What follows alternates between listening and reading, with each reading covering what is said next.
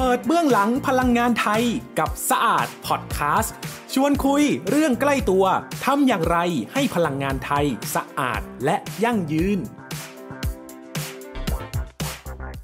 สวัสดีค่ะ ใบหม่อนทัศสิกาค่ะ สวัสดีครับโบทชาคอนครับ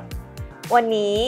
ขอหยิบ โจทย์เรื่องพลังงานสะอาด 7 เรื่องมาสรุปให้ฟังกันอีกทีหนึ่งนะคะ ว่าตอนนี้ไทยมีโจทย์อะไรบ้างคะเพราะว่าเราคุยกันมาหลายตอนแล้วใช่ไหมครัคะบผมโบทแล้วโจทย์ใหญ่ ๆ ทั้งนั้นเลยนะคะ ใช่แล้วครับ เรื่องแรกค่ะ พลังงานสะอาดมาแน่นะคะ ทั่วโลกกำลังเรียกร้องค่ะ ให้ทุกประเทศเนี่ยลดการปล่อยก๊าซเรือนกระจกนะคะครับแล้วก็ผมมีงานศึกษาวิจัยออกมาแล้วว่าภาคพลังงานเนี่ยจะมีบทบาทสำคัญมากที่จะต้องลดการปล่อยก๊าซเรือนกระจกนั้น ดังนั้นพลังงานสะอาดเนี่ยแหละค่ะคือคีย์สำคัญ นะครัคะ บ ในงานวิจัยปี 2012 ของเคสเนี่ยก็ได้ปรากฏแล้วว่าเราเนี่ยมีศักยภาพเพียงพอนะคะ ในการที่จะผลิตพลังงานสะอาดได้มีอย่างมีประสิทธิภาพได้ถึงสัดส่วน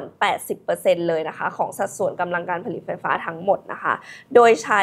เฉพาะพลังงานแสงอาทิตย์ พลังงานลม แล้วก็พลังงานชีวมวลค่ะ นี่คือการตั้งเป้าหลักๆ ที่ในงานวิจัยงานศึกษาเนี่ยก็ค้นพบแล้วว่าเราทำได้นะคะ รวมไปถึงภาคเอกชนเนี่ยก็กำลังเรียกร้องแล้วก็รอการเปลี่ยนแปลงเช่นกัน เพื่อให้เขาสามารถมีไฟสีเขียวใช้อืมในการผลิตครับไฟฟ้า เพื่อ สู้กับแรงกดดันจากต่างประเพิ่มเทศักศยภาพในการแข่งขันใช่นะครับค่ะ นั่นคือโจทย์ข้อแรกนะคะ ทีนี้พอเรามีเป้าแบบนี้ค่ะนำมาสู่โจทย์ข้อที่ 2 ของเรื่องพลังงานสะอาดค่ะ คือการปรับแผนการผลิตไฟฟ้าของเรานะคะ ตอนนี้เนี่ยเรามีสัดส่วนการผลิตไฟฟ้าจากพลังงานหมุนเวียนอยู่ที่ประมาณ 14%ค่ะ แต่ว่าในอนาคตนะคะ เราตั้งเป้าไว้ในแผน PDP ว่าอืมเราจะผลิตให้ได้ถึง 51%ภายในปี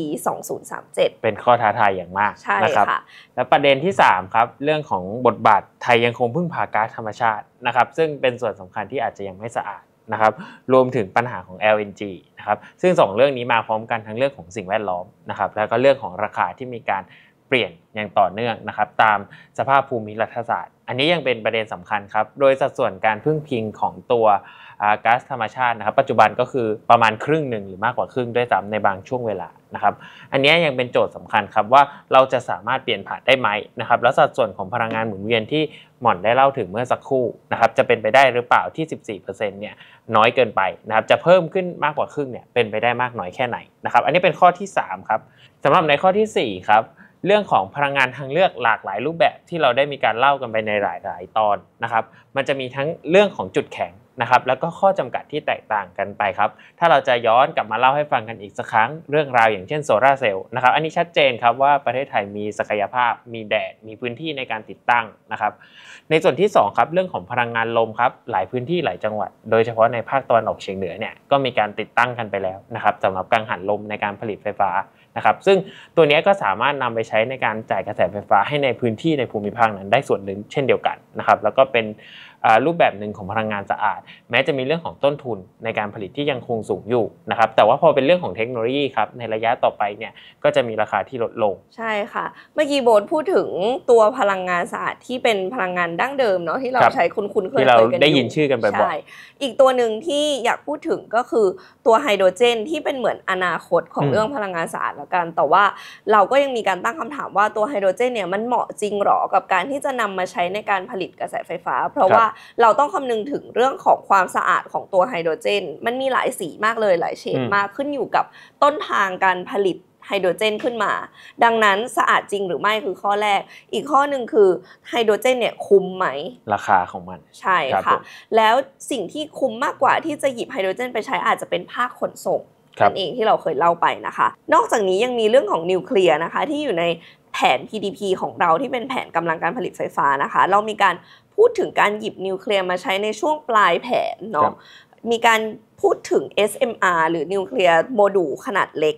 ที่จะนำมาใช้นะคะ แต่ก็ยังเป็นโจทย์สำคัญว่า